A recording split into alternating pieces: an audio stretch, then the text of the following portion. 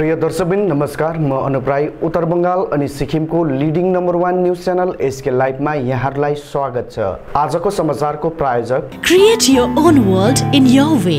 PIS. गर सपनों का घर है बनाना तो वृंदावन मार्बल्स ही है ठिकाना समाचार विस्तारमा जान अघि सुरु गरौँ आजका प्रमुख समाचार गोरामोमो पूर्व अध्यक्ष सुभाष घिसिङको स्वर्गीय धर्मपत्नी धनमाया घिसिङको एघारौँ पुण्यतिथिमा श्रद्धाञ्जली अर्पण। बाह्रजना विधायकहरूको राजीनामाको माग गर्दै सिक्किम प्रोग्रेसिभ युथ फोरमले गर्ने राजधानीमा भव्य र्याली दार्जिलिङका सांसद राजु विष्ट आफ्नो सांसदीय क्षेत्र भ्रमणको क्रममा आज पुगे कालेबुङ। अब समाचार विस्तारमा। आज गोरामोमो पूर्व अध्यक्ष सुभाष घिसिङको धर्मपत्नी स्वर्गीय धनमाया घिसिङको एघारौँ पुण्यतिथिमा गोरामोमो केन्द्र कार्यालय प्रवक्ता वाइ लामाले पत्रकार सम्मेलन गरी श्रद्धाञ्जली अर्पण गरेका छन्। जातिमा बाँड्नु जुन प्रकारको आन्दोलन भयो त्यो आन्दोलनमा उहाँले कस्तो प्रकारको एउटा भूमिका निभाउनु पर्ने र हामी सधैँ भन्छौँ एउटा सक्सेसफुल मान्छेको पछाडि एउटा त्यो कुनै न कुनै रूपमा चाहे पत्नीको रूपमा होस् चाहे दिदी भाइ बहिनीको रूपमा एकजना नारीको हात हुन्छ भन्छ। त्यसरी नै समस्त गोर्खा जातिलाई आफ्नो माटो चिनारी र राजनीति र हक अधिकारको लागि लडाइँ गर्नु माग्नु आफ्नो अधिकार नडराइकन माग्नु जुन सिकाउने सफल व्यक्ति आपा सुभाष घिसिङ हुनुहुन्थ्यो। उहाँलाई बिहाइन्ड द सिन पछाडि बसेर कुन प्रकारले उहाँले हेल्प गर्नुभयो उहाँको अपार सहयोग र उहाँको अमूल्य सुझाउहरू बिना सायद गोर्खा राष्ट्रिय मुक्ति मोर्चा आज यसरी फैलिन्थेन होला। उहाँले जुन योगदान दिनुभयो जुन उहाँले यो गोर्खा जातिलाई समस्त गोर्खा जातिको आमाको रूपमा उहाँलाई उहाँले जुन कर्म गर्नुभयो जुन प्रकारले उहाँले हामीप्रति एउटा जुन माया देखाउनु भयो गोर्खा राष्ट्रिय मुक्ति मोर्चालाई धेरै अगाडि बढाउनुको लागि उहाँले एउटा पत्नी रूपको जुन चाहिँ पत्नी धर्म थियो जसलाई धेरै पर सारेर धेरैवटा सेक्रिफाइसहरू गरेर धेरै यस्तो त्याग तपस्याको कारण आज हामी गोर्खा राष्ट्रिय मुक्ति मोर्चा आजसम्म पनि एउटा शासक रूपमा अगाडि बढ्न सकिरहेका छौँ। यो उहाँको आशीर्वाद उहाँको योगदान उहाँको यो परिश्रमको फल नै हो। आज हामी गोर्खा राष्ट्रिय मुक्ति मोर्चा यसरी सफल भएर अगाडि बढ्दैछ र उहाँलाई समस्त गोर्खा परिवार अनि गोर्खा राष्ट्रिय मुक्ति मोर्चा परिवारको तर्फबाट र हामी यो एघारौँ पुण्यतिथिमा उहाँलाई हार्दिक हार्दिक श्रद्धाञ्जली चढाउन चाहन्छौँ। सिक्किम डेमोक्रेटिक फ्रन्ट पार्टीका बाह्रजना विधायकको राजीनामाको माग गर्दै सिक्किम प्रोग्रेसिभ युथ फोरमले आगामी अठार अगस्तको दिन राजधानीमा एक भव्य र्याली आयोजना गर्ने भएको छ। संस्थाका सदस्यहरूले आज राजधानीमा आयोजित पत्रकार सम्मेलनलाई सम्बोधन गर्दै उक्त घोषणा गरेका हुन्। संस्थाका सदस्य शङ्कर शर्माले बताए अनुसार लोकतान्त्रिक व्यवस्थामा जनताले चुनेका प्रतिनिधिहरूले जनताको सम्मान गर्नुपर्ने र उनीहरू आवाज बन्दै काम गर्नुपर्ने बताएका छन्। संस्थाले दल बदल गर्ने व्यवस्था अन्त गर्नुको निम्ति अठार अगस्तदेखि राज्यमा विभिन्न प्रकारको आन्दोलनको थालनी गर्ने शर्माले आज घोषणा गरेका छन्। दल बदल गर्ने विधायकहरूले नैतिकताको आधारमा राजीनामा दिनुपर्ने उनले संस्थाको तर्फबाट माग गरेका छन्। दल बदलको नीति र व्यवस्था विरुद्ध लड्नको निम्ति संस्थाले शीघ्र सिटिजन फोरम एगेन्स्ट डिफेक्सन गठन गर्ने पनि शर्माले अवगत गराएका छन्। यसै क्रममा संस्थाको अर्को सदस्य रूपेन कार्कीले दल बदल गर्ने विधायकहरू जनताको प्रतिनिधि बन्न नसक्ने र प्रतिनिधित्व गर्ने अधिकार गुमाएको बताउँदै ती विधायकहरूले जनताको भावनासँग खेलवाड गरेको कार्कीले आरोप लगाएका छन्। उनले फेसबुक लगायत अन्य सोसियल मिडिया मार्फत विरोध जनाउने सबैलाई साहस जुटाएर आगामी अठार अगस्तको दिन आयोजना गरिने विरोध र्यालीमा अंशग्रहण गर्ने अपिल गरेका छन्।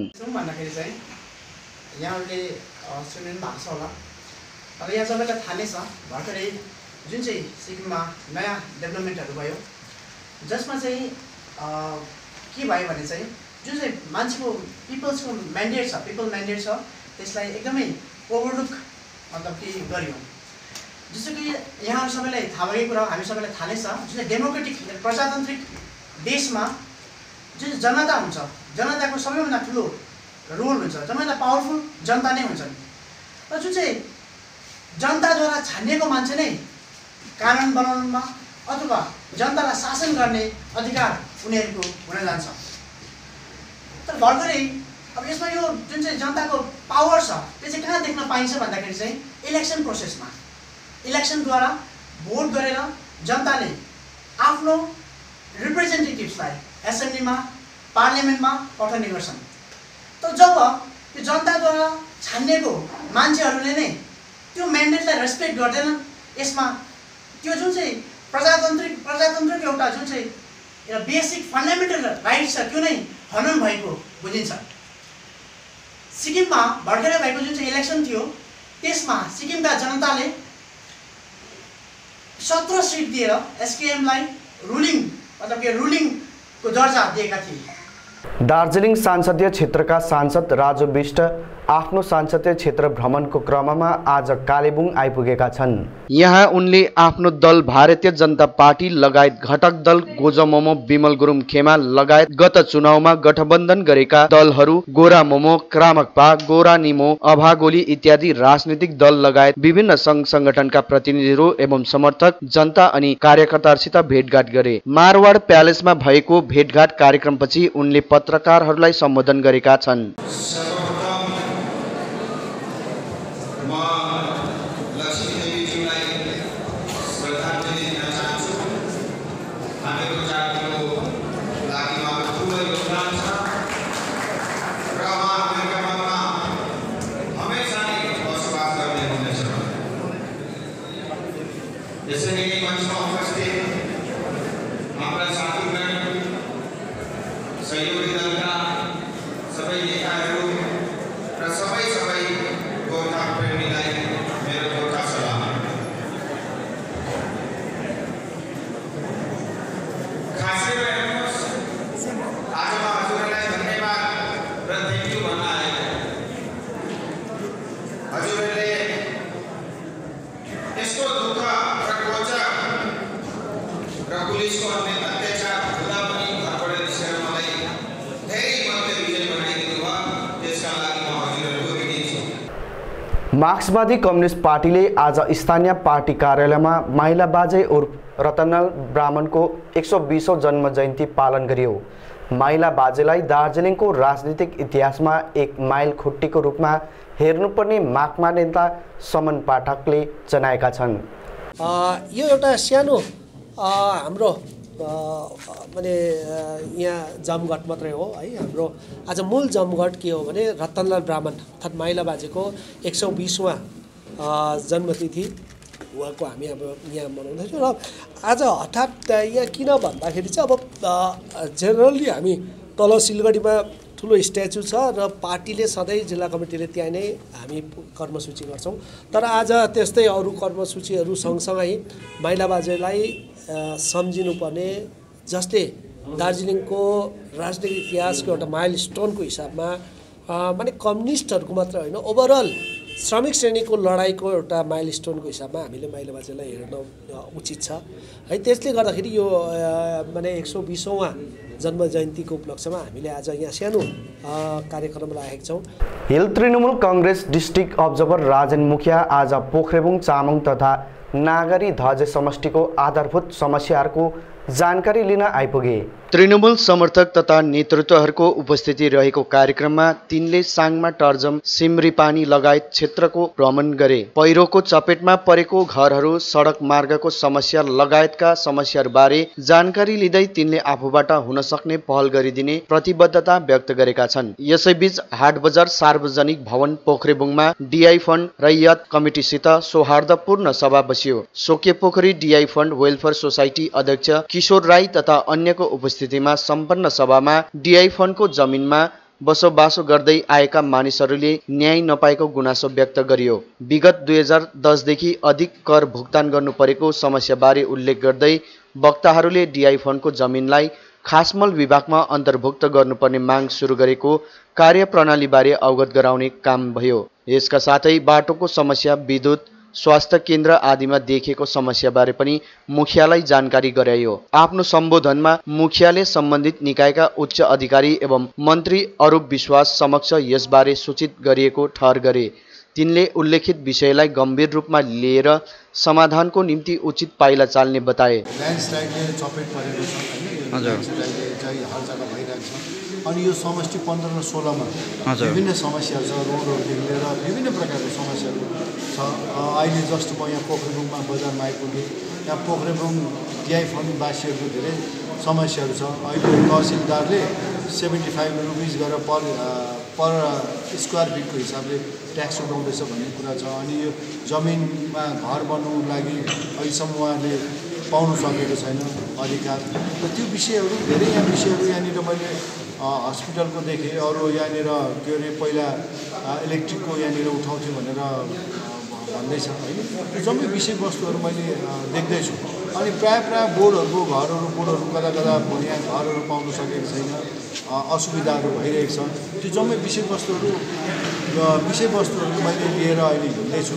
यो जम्मै डिटेल रिपोर्ट पाइसकेपछि डिएमसँग म डिएमलाई रिपोर्ट राख्छु कलकत्तामा रिपोर्ट पनि राख्छु अनि सकेमा जिटीको चेयरम्यानसँग पनि यही विषय लिएर म बातचित गर्छु अनि समस्या समाधान गर्ने म कोसिस गर्छु। पहाडको नर्सिङ कोटामा पहाडकै विद्यार्थीहरूले पाउनुपर्ने मागलाई लिएर गोरामोमो जनचेतना सङ्घर्ष समिति अनि गोर्खा राष्ट्र नारी सङ्गठनको सिएमओएससँग बैठक सम्पन्न भयो। पहाडको नर्सिङ कोटामा पहाडकै विद्यार्थीहरूले पाउनुपर्छ भनेर माग गर्दै गोरामोमो जनचेतना सङ्घर्ष समिति अनि गोर्खा राष्ट्र नारी सङ्गठनको आन्दोलन जारी रहेको छ। आज यसैबीच सिएमओएससित प्रतिनिधि वर्गहरूको बैठक गरियो। लगातार पहाडको नर्सिङ कोटामा पहाडको विद्यार्थीहरूले मौका नपाएकोले गर्दा आज फेरि दार्जिलिङ नर्सिङ स्कुलमा सम्बन्धित विभागीय अधिकारीलाई ज्ञापन पत्र समेत बुझाउँदै न्यायको निम्ति गोरामोमो जनचेतना सङ्घर्ष समिति अनि गोर्खा राष्ट्रिय नारी सङ्गठनको सङ्घर्ष जारी रहेको छ। चिया बगान तृणमूल कङ्ग्रेस मजदुर युनियनले पनि बिस प्रतिशतको दरले बोनस दिनुपर्ने माग उठायो। जसको बैठक सिलगढीमा भए पनि आपत्ति नरहने युनियनका समन्वयक प्रदीप प्रधानले जनाएका छन्। धेरै बगानहरूमा अहिले पनि रिटायर हुन्छ। ग्रेजुएटीको पैसाहरू पाएको छैन। पिएफ भविष्य निधि जसले चाहिँ श्रमिकहरूको जीवनमा सारा जीवन मिहिनेत गरेर जुन चाहिँ उसले अन्तिम जुन चाहिँ जीवन सु सुकुमै बितोस् भनेर पिएफ छ त्यो पनि धेरै बगानहरूमा इरेगुलरिटी हामीले भेट्यौँ। धेरै बगानहरूमा बकाया पैसै तिरेको छैन। अब यसमा पनि हामी जोड लाउँछौँ। जे पनि हुन्छ हामी साधारण मान्छे जुन चाहिँ खटिखाने मान्छेको चाहिँ न्याय पाओस् भनेर हामी लागि परेको छौँ। अनि भविष्यमा हामी सबैलाई यो नै भन्छौँ जुन चाहिँ सरकार आएको छ यो यो सरकारले चाहिँ गरिबप्रति उहाँको जुन चाहिँ एउटा व्यवहार गरिबलाई उत्थानको लागि जुन चाहिँ उहाँले गर्नुभएको छ त्यसैकै सहभागी गर्नुको लागि त्यसैलाई नै थप बल पाओस् भनेर चाहिँ हामीले यो युनियनलाई पनि जोडसोडले गरेर चाहिँ आउने दिनमा चाहिँ दार्जिलिङ चियाको जुन चाहिँ गरिमा थियो हाम्रो त्यसलाई फर्काइ ल्याउने जुन चाहिँ विश्वस्तरीय जुन चाहिँ हाम्रो एउटा पहिचान छ त्यसलाई अझै अगाडि लाने भन्ने चाहिँ हाम्रो सोच राखेका छौँ। हामीले यसै विषय लिएर अहिले भर्खरै हामीले सभा बस्यौँ। त्यो सभा पनि हामीले यही नै पारित गऱ्यौँ। यसपालिको बोनस हाम्रो दलको हाम्रो युनियनको चियाबारी तृणमूल कङ्ग्रेस मजदुर युनियनको स्ट्यान्ड चाहिँ हो ट्वेन्टी पर्सेन्ट पाउनै पर्छ। अनि त्यो हक पनि हो। किनभने दार्जिलिङ चिया बजारमा आज हामीले किन्नु गयो भने कुनै पनि नराम्रो भन्दा नराम्रो चियाको दाम पनि हजार रुपियाँभन्दा माथि छ। होइन र? त्यसको मूल्य नियरली एक सौ छ्यात्तर रुपियाँ हाम्रो अहिले मिनिमम वेजेस मतलब वेजेस पाउँछौँ। त्यो हेर्दा पनि त्यहाँ कहीँ न्याय भएको जस्तो छैन। अनि यो बोनसमा पनि पोर्सन अलिक घटाइदियो पाँच पर्सेन्ट। तर यसपालि चाहिँ हाम्रो मालिकहरूलाई पनि एउटा अपिल पनि छ। अनि हामी यसको लागि घोडा दसेर बिस पर्सेन्ट चाहिँ लिन्छौँ। जाली सिक्किम सब्जेक्टलाई लिएर दक्षिण जिल्ला प्रशासन गम्भीर नरहेको आरोप लगाएको छ। आरटिआई कार्यकर्ता दुर्गाबहादुर छेत्री र मदन तामाङले जाली सिओआईलाई लिएर सबै प्रमाणपत्र दक्षिण जिल्लाका अतिरिक्त जिल्लापाल समक्ष सुम्पिएको धेरै दिन बितिसक्दा पनि यसमाथि कुनै प्रकारको कानुनी कारवाही नगरेको दावी गरेका छन्। उनीहरूले बताए अनुसार केही दिन अघि मात्र अतिरिक्त जिल्लापालले पहल नगरेपछि दक्षिण जिल्लाका पुलिस अधीक्षकलाई लिखित रूपमा ज्ञापन चढाउँदै कारवाही गर्ने माग गरेको थियो। तर पुलिस अधीक्षकले पनि यस विषयलाई गम्भीरतापूर्वक नलिएको उनीहरूको आरोप रहेको छ।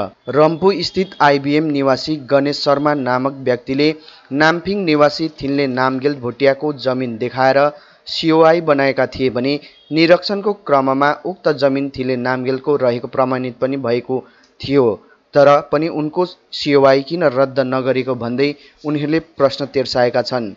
शर्माले वर्ष दुई हजार एकमा जाली सिओआई बनाएका थिए। राज्यको एक साँचो नागरिकको हैसियतमा र राज्यको हितमा यति धेरै प्रमाणहरू जुटाएर सुम्पिँदा पनि प्रशासनले खेलाइँची रूपमा लिएकोमा उनीहरूले प्रशासनको कार्य प्रणालीमाथि शङ्का व्यक्त गरेका छन्। पुलिसले दुईपल्ट आरोपीसम्म शर्मालाई समन जारी गर्दा पनि शर्मा पुलिस चौकीमा नगएको बताए भने पुलिसले शर्मामाथि कानुनी कारवाही गर्नुपर्ने माग गरेका छन्। होइन यो चाहिँ गणेश शर्मा जो चाहिँ रङको आइडिएम निवासी हुनुहुन्छ है। यसको त होइन यसको त अब यो जुन चाहिँ एडिसीले चाहिँ एकदमै डाइरेक्टली लेख्नु भएको छ नि त यो जुन प्लट नम्बर चाहिँ वान वान एट चाहिँ छिले नाङ्गेलको नाममा छ भनेर चाहिँ यो त सिधै नै फेक हो भनेर जान्नुपर्छ। अब अर्काको नाममा चाहिँ अब अर्काको ल्यान्ड रेकर्ड देखाएर चाहिँ आफूले बनाउनु पाउँदैन। अब सिओआईमा चाहिँ गणेश शर्माको बाउ शेखर चन्द्र शर्मा हो र शेखर चन्द्रको बारीको प्लट एक सौ अठारबाट बनाएको छ। यो सिओआई तर अब जुन यो हाम्रो एडिसी हिसाबले दिनुभएको जुन क्लियरेन्स रिपोर्ट छ त्यो अनुसार चाहिँ अब ठिकै ठगियो। समाचारको क्रममा अब पालो भएको छ एउटा छोटो विश्रामको। क्या आपके घर में शादी है? कोई फंक्शन तो होगा तो उसकी वीडियोग्राफी और फोटोग्राफी तो करवानी है। आज तकनीक दिनों दिन बदल रही है। कहीं गलत हाथों में मत पड़ जाइए। तरीका बदल गया है। आप भी बदलिए। याद रखिए सिडवैप सिडवैप से आधुनिक तकनीकों के साथ अपडेट रहता है। और आपके बजट के अनुसार ही वीडियोग्राफी और फोटोग्राफी करते हैं। आप सोच रहे होंगे, ये सिडवैप्स सिडवैप्स क्या है? शादी हो या कोई फ़ंक्शन, इन पलों को सजोने के लिए याद रखिए Somani institute of DG vision and productions.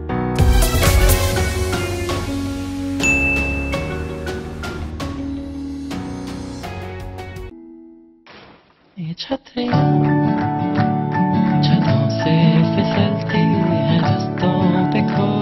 Hathway की हवा से अब उड़ जाएँगी ये छतरियाँ। इसके अल्ट्रा स्मार्ट हब में है 400 से भी ज़्यादा H D channels Netflix YouTube Chromecast Google voice assist और ढेर सारे एप्स हैथवे बदल गया है गेम छतरियाँ गिरती है, रंगे बदलती है, उड़ती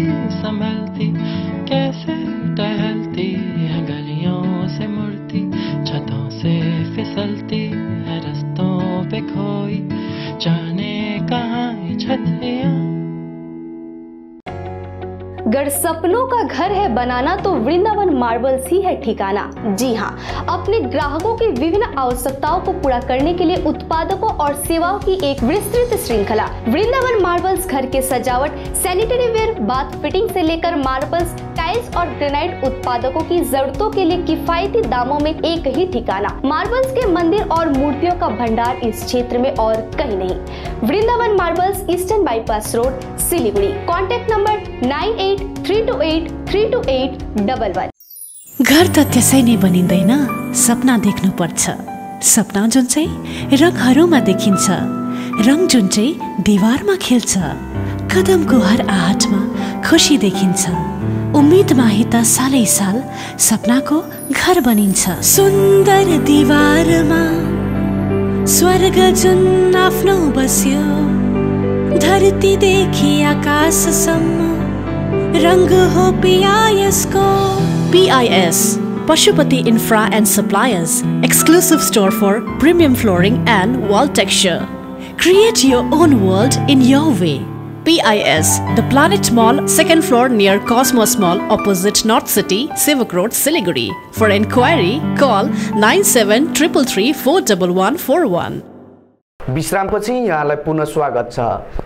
west Bengal multipurpose female health workers एसोसिएसनका सदस्यले आज दार्जिलिङ जिल्ला अस्पतालमा बिछोप प्रदर्शन गरियो। विगत कैयौँ वर्षदेखि कार्यरत एएनएम अर्थात् अक्जिलेरी नर्स मिडवाइफहरूलाई सिएचओमा पदोन्नति गर्नुपर्ने माग लिएर नै गत आठ अगस्तको दिन यस सङ्गठनका कार्यकर्ताहरूले कलकत्तामा धरना प्रदर्शन गरेका थिए। त्यहाँ उनीहरूमाथि पुलिसले अत्याचार गरेको विरोधमा नै आज यी कार्यकर्ताहरूले बङ्गालका सबै जिल्ला अस्पतालहरूमा विपक्ष प्रदर्शन गरेका हुन्। हामी चाहिँ यो गरेको चाहिँ विशेष हामीले भत्सना जनाउनुको निम्ति किनभने हामी west Bengal multipurpose health worker association हाम्रो छ। त्यसमा हाम्रो जोइन्ट फोरमले यो प्रोग्राम गरेको हो। किनभने हामीले धेरै दिनदेखिको हाम्रो क्याडर पाएको छौँ हामी यत्रो वर्ष हामीले काम गरेर पनि नर्सिङ ट्रेनिङ भनेर हामीले गरेको हो। तर हामी नर्सिङ क्याडरमा छैनौँ भनेर भनेको थियो। त्यसले गर्दाखेरि अनि हाम्रो प्रमोसन पनि भएको थिएन। एएनएम जो छ एएनएमबाट प्रमोसन भएर चाहिँ हेल्थ सुपरभाइजर फिमेल हुन्छ। त्यो पनि हामी त्योबाट पनि हामी वञ्चित भएको थियौँ। त्यसको लागि पनि गरेको थियौँ। अनि हाम्रो क्यारियर पाथ हामीलाई फर्दर स्टडी गरेर ट्रेनिङहरू दिएर हाम्रो प्रमोसनमा चाहिँ बाधा भइरहेको थियो। यो विषयमा हामीले धेरैचोटि स्वास्थ्य भवनमा हाम्रो डाइरेक्टर नर्सिङ डाइरेक्टर अनि डिएचएस वेस्ट बेङ्गललाई पनि हामीले धेरैपल्ट स्मारक पत्रहरू दिएको थियौँ। तर उहाँहरूबाट केही पनि हामीले भरपर्दो आश्वासन नपाएको कारणले गर्दा हामीले चाहिँ यो धर्ना अब उहाँहरूलाई भेटेको थियौँ। तिस तारिकभित्रमा एकतिस तारिक जुलाईसम्ममा चाहिँ हामीलाई केही दिनुहोस् भनेर हामीले लिखित रूपमा उहाँहरूलाई मेमोरेन्डम चढाउँदा एकतिस तारिक हामीले एउटा दिएको थियौँ। तारिकसम्ममा तपाईँहरूको डिमान्ड भएन भने हामी धर्नामा बस्छौँ या हाम्रो अरू प्रोग्रामहरू गर्छौँ भन्दाखेरि चाहिँ एकतिस तारिक बितेर गयो। तर उहाँहरूबाट कुनै पनि हामीले भरपर्दो आश्वासन पायौँ त्यसपछि चाहिँ हामी सारा वेस्ट बेङ्गलभरिको सबै एएनएम प्लस हेल्थ सुपरभाइजर फिमेलहरू सबै चाहिँ प्रत्येक डिस्ट्रिक्टबाट सहभागिता जनाएर चाहिँ यो धर्नाको प्रोग्राम उद्देश्य है हम सब चैनल में, मीडिया में जाना नो, मेरा ऊपर, हमारा एएनएम का ऊपर इतना पुलिस अत्याचार किया है, विधाननगर पुलिस कमिश्नरेट एवं कलकत्ता पुलिस, हमारा महिला स्वास्थ्यकर्मियों के ऊपर इतना जुलुम किया है, इतना अत्याचार किया है, इसलिए हम आज सी सर के पास आई है, धिक्कार जनाने के लिए। आज वहाँ पर आप लोग विक्षोभ विक्षोभ किया और मेरा हमारा जो डिमांड है वो हमारा डिमांड पूरा होने के लिए सिमुल सर का बताया जे ये चिट्ठी फॉरवर्ड कर करके हमारा स्वास्थ्य भवन में भेजने के लिए। हिजो सर्वत्र ठाउँहरूमा तेह्रतौँ स्वाधीनता दिवस पालन गरिने क्रमबीच जयगाउँ सुपर मार्केट चौपती स्थित शहीद मेजर दुर्गा मल्ल शालिग नजिक तिरङ्गा झन्डा उत्तोलन पश्चात उक्त स्थानबाट जयगाउँ दमाई युथ अर्गनाइजेसनद्वारा राखी बाँध्ने कार्य गरिएको एवं सडकमा ओहोरदोहोर गर्नेहरूलाई पानी र जुस वितरण गरिएको जानकारी जयगाउँ दमाई युथ अर्गनाइजेसनको पक्षमा अमित त्रिखतीले दिएका छन्। समाजको पक्षबाट समाज सेवा पुर्याउँदै आएका व्यक्तित्वहरूलाई स्मृति चिन्ह पनि प्रदान गरिएको थियो भने उक्त अवसरमा जयगाउँ समाज कल्याण सङ्घका सदस्यहरूलाई पनि निमन्त्रणा गरिएको थियो। दमाई युथ अर्गनाइजेसनको प्रभारी श्याम सेवाले कार्यक्रममा सहभागिता गर्न आएका सबैलाई स्वागत जनाएका थिए भने अर्गनाइजेसनको सदस्यहरूले जयगाउँ सहरमा बाइक परिक्रमा पनि गरेका थिए।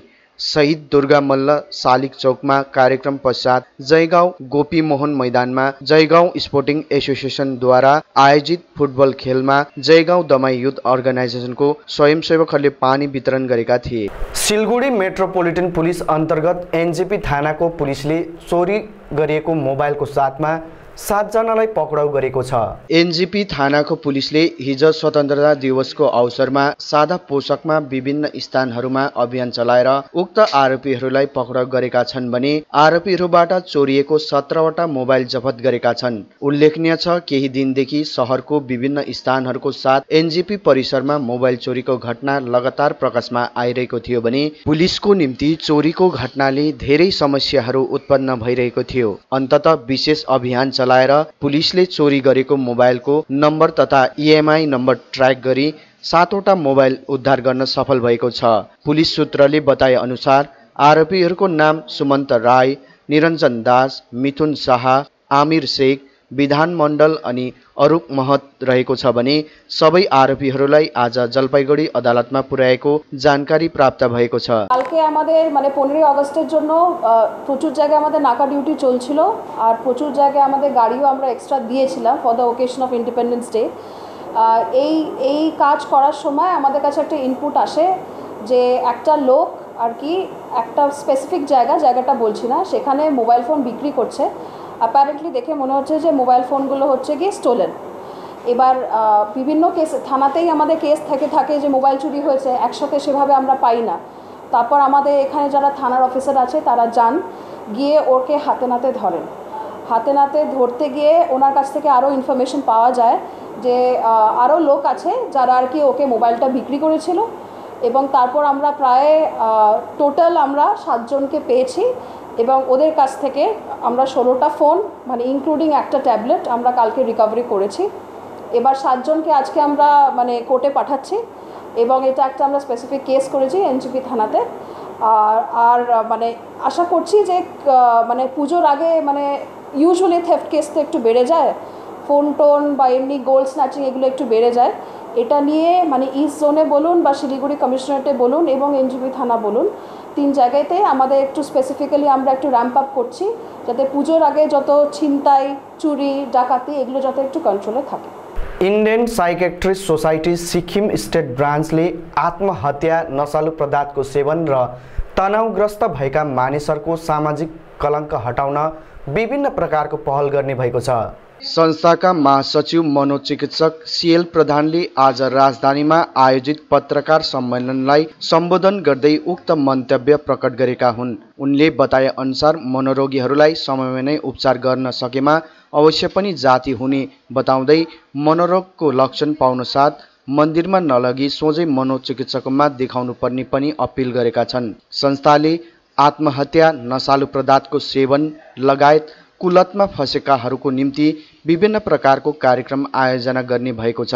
विशेष गरेर यस प्रकारको रोगीहरूको निम्ति साइक्याट्रिस्ट रियाप सेन्टर हाफवे होमको निर्माणको निम्ति राज्य सरकारलाई प्रस्ताव राख्ने पनि जानकारी गराए। आगामी दिनमा प्रत्येक जिल्लामा सचेतना कार्यक्रम आयोजना गर्ने र उक्त दिन पर्चा आदि वितरण गर्ने उनले बताएका छन्। सोसाइटीको नाम हो Sikkim state branch Indian psychiatric society.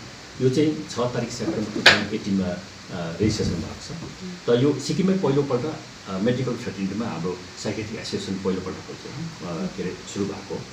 अब उपरान्त हामीले के गर्दैछ हामीले जनरल कसको छ भनेदेखि यो सोसाइटीको थ्रुबाट चाहिँ जति पनि मेन्टली इल भएको मान्छेलाई चाहिँ अब फर्दर अझै राम्रो साइन्टिफिक ट्रिटमेन्ट र उहाँको एउटा वेलबिङ केयरको लागि चाहिँ हामीले के गर्न सकिन्छ भन्ने त्यो विषयमा हामीले एउटा यो सोसाइटी खोलेको हौँ।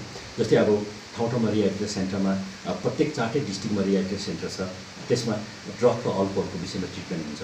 अनि जति पनि डिस्ट्रिक्ट होम छ अनि रिहाइड सेन्टर भयो जेल भयो जुबिनाल होममा त्यहाँ पनि साइकेटिक सर्भिसहरू डेलिभर गर्ने हामीले सुरु गरेको छौँ। पहिलादेखि नै साइकेटिक्सहरू त्यहाँ के अरे गइ भिजिट गरिदिनु आएको छ। र भिलेज लेभलमा विशेष गरी अब आत्महत्या एउटा चिन्ताको विषय बनेको छ। त्यो मात्रै होइन मानसिक रोग भएको व्यक्तिहरू अझै पनि ट्रिटमेन्टमा के अरे खुल्लम खुल्ला आउन सकेको छैन। त्यसमा यो विषयमा व्यापक रूपमा जनचेतनाको लागि हामीले मेन्टल हेल्थ अवेरनेस प्रोग्राम हामीले ल्याउनु जरुरी छ र चारटै डिस्ट्रिक्टमा साइकेटिस्टहरू छ हामी सोसियल वर्करहरू भयो क्लिनिकल साइकोलोजिस्ट छ। त्यसमा यो मेन्टल इलनेसको विषयमा ड्रग्सको विषयमा सुसाइडको विषयमा अनि अरू मेन्टल हेल्थ इस्युको विषयमा चाहिँ हामीले व्यापक रूपमा जनचेतना कार्यक्रम हामीले अगाडि बढाउनेछौँ। पोखरेबुङ ग्राम पञ्चायत दुईको टर्जम चियाबारीको सशक्त स्वनिर्भर दल पारिजातको तत्वधानमा आज निशुल्क आँखा जाँच शिविर सम्पन्न भयो। दल नेत्री लक्ष्मी तिरुवा सचिवा मन्जु प्रधान तथा कोषाध्यक्ष निता देवानको नेतृत्वमा सम्पन्न यस शिविरमा सिलगढी आई केयर सेन्टरका विशेषज्ञ डाक्टर एस देवनाथले स्थानीय तथा संलग्न क्षेत्रका रोगीहरूको आँखा जाँच गर्दै उचित परामर्श दिएका थिए। पोखरेबुङ टर्जम रोड लाइनमा सम्पन्न यस कार्यक्रममा स्वनिर्भर दलका सम्पूर्ण सदस्य एवं मेडिकल टिम सोमा दास विष्णु विश्व अनिता प्रधान कामरुद्दिन अली आदिको विशेष उपस्थिति रहेको थियो। शिविरमा औषधि वितरण गर्नुको साथै सुलभ मूल्यमा चस्मा समेत उपलब्ध गराएको थियो। देशमा तेह्रत्व स्वतन्त्र दिवस भव्य रूपमा मनायो भने यसै बीच सिक्किमको पेनलङ सेकेन्डरी स्कुलमा पनि स्वतन्त्र दिवस भव्य रूपमा आयोजन गरियो। मुख्य अतिथिको रूपमा एसटिए विभागको सचिव कर्मन नामगेल भोटिया रमेश कुमार मुन्द्रा साथै अन्य गण्यमान्य व्यक्तित्वहरूको उपस्थिति रहेको थियो। समारोहमा विद्यालयको विद्यार्थीहरूले देशको विभिन्न झलकहरू प्रदर्शन गरेका थिए भने उक्त कार्यक्रमको सबैभन्दा प्रमुख आकर्षण धुलचन्द्र मुन्द्र मेमोरियलको चालिसौँ फुटबल टुर्नामेन्टको पनि आयोजना गरिएको थियो। खेलप्रति युवाहरूलाई प्रोत्साहित गराउन हेतु सदैव मुन्द्रा परिवार अग्रसर रहेका छन्। पोखरेबुङ ग्राम पञ्चायत दुई अन्तर्गत रहेको सम्पूर्ण स्वनिर्भर समूह अनि आइसिडिएस कर्मीलाई लिएर एउटा महत्त्वपूर्ण सभा पञ्चायत कार्यालयमा आज सम्पन्न भयो। पञ्चायत कर्मी हेमन्त चन्द शङ्करको अध्यक्षता एवं सञ्चालनमा सम्पन्न सभामा भिक्टर बोन डिजिज रोकथामको निम्ति सर्वे कमिटी गठन गर्ने काम भयो। उल्लेखित छ डिजिज विशेष मच्छरको लाब्राबाट सुरु हुने तथा यसबाट नै डेङ्गु समेत फैलन सक्ने स्थितिलाई केन्द्र गरेर यसको रोकथामको निम्ति एसएसजी र आइसिडिएस कर्मीले प्रत्येक गाउँ घुम्दै सर्वे गरेर रिपोर्ट बुझाउनु पर्ने प्रस्ताव ग्रहण गरियो। कमिटीमा एसएसजीका छजना अनि आइसिडिएसका चारजना गरेर मोट दसजनाको टोली रहने बताएको छ। यस पञ्चायत जुन चाहिँ जिपी टूमा हामी आइसिडिएस उपस्थित भएका छौँ र सबैजना आइसिडिएसका वर्कर सम्पूर्ण वर्करहरूलाई मेरो आज आजको उपस्थितिमा तपाईँहरूलाई सानो म केही भन्न लागिरहेको छु कि आज हाम्रो जुन चाहिँ मुख्य मिटिङ चाहिँ मुख्य सभा चाहिँ यस प्रकार थियो। कि भेक्टरबोन डिजिज यसको रोकथाम अब कसरी गर्ने हो यस भेक्टरबोन डिजिजमा चाहिँ हाम्रो सर्वप्रथम चाहिँ हाम्रो जुन चाहिँ महिला वातावरण अब महिला हुन्छ गाउँघरमा कतिवटा एकदमै हामी हिँड्दै जाँदा कतिवटा बनाएर छोडेका घरहरू त्यसमा कतिवटा टायरहरूमा त्यो पानीहरू जमेर एकदमै मच्छरको उत्पन्न भएको हुनाले जुन चाहिँ त्यसलाई चाहिँ सात दिनभित्रमा त्यो मच्छरहरू चाहिँ उत्पन्न भएर चाहिँ लार्भाहरूबाट मच्छरहरू उत्पन्न भएर रोगहरू फैलाएर चाहिँ त्यस रोगहरू चाहिँ अब गाउँ गाउँमा फैलिएर त्यसरी अब कतिले कुखुराहरू पालेका हुन्छन् त्यो कुखुराहरू पालेको त्यसबाट पनि सफा सुग्घर गर्छौँ हामी खोरहरू सफा गर्दा। एकदमै हातहरू राम्रो धोएर सफा गरेर हामीले के अरे भित्र पस्नुपर्छ। यस वर्ष पनि गोक जुनियर बेसिक स्कुलको तत्त्वधानमा तेह्रतमा स्वतन्त्रता दिवस आयोजना गरियो। स्कुल उपस्थित कमिटीका सभापति आइके घिसिङको अध्यक्षता साथै स्कुल सञ्चालन कमिटीका सभापति सुरेन लिम्बुको प्रमुख आतिथ्यमा कार्यक्रम सम्पन्न गरियो। स्कुल प्रभारी दीपक राईद्वारा सञ्चालित कार्यक्रममा सभापति घिसिङ अनि प्रमुख अतिथि लिम्बुद्वारा राष्ट्रपिता महात्मा गान्धीको तस्विरमा दीप प्रज्वलन गरियो भने गर्ने गोपाल लामाद्वारा राष्ट्रिय झण्डा उत्तोलन गरियो। यस दिन शिक्षिका निवेदिता राईले स्वागत भाषण राखिन् भने स्वतन्त्रता दिवस बारे शिक्षक रविमान तामाङ आइके घिसिङ सुरेन लिम्बू आदिले सम्भाषण राखे। यसरी नै शिक्षक सूर्यमान राई रमेश लिम्बू आदिले सांस्कृतिक कार्यक्रम सञ्चालन गर्दै धन्यवाद ज्ञापन गरे। हवस् त आजको समाचार यति नै। बाँकी समाचारको लागि हेर्दै गर्नुहोस् एसके लाइभ। तपाईँको समय तपाईँको समाचार।